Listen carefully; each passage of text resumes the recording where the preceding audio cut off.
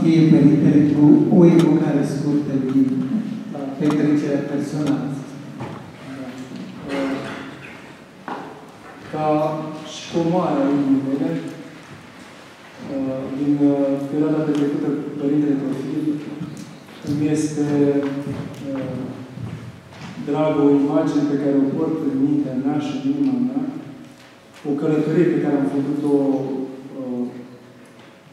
din Grecia în România, la întoarcerea din Grecia, și care uh, depășește granițele timpului pentru mine e ca și o călătorie într-o lume de dincolo, într-o lume miraculoasă, având-o alături pe Părintele Teofil. Veneam din Grecia în România, avionul în care ne-am îmbarcat era un avion mai vechi, cu, de tip vechi, cu ilicie.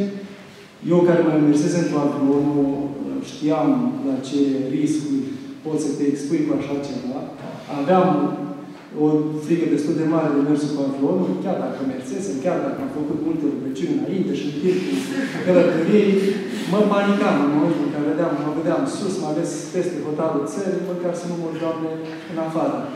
Și aveam frica aceasta și frică care mă stăpânea și chiar dacă eram eu Părintele Teofil în aeroport.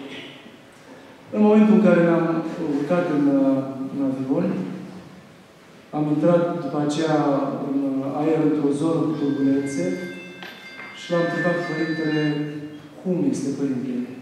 Cum vă simțiți? Dragă, parcă aș merge cu autobuzul. S-a dus toată frica.